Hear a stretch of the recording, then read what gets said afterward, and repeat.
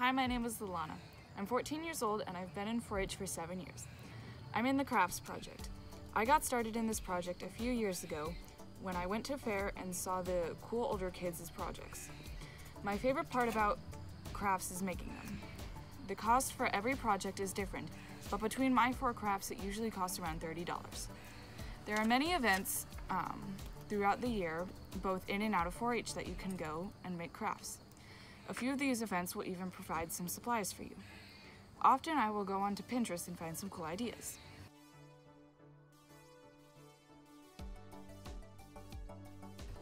This is one that was made by my sister a few years ago in a 4-H um, event.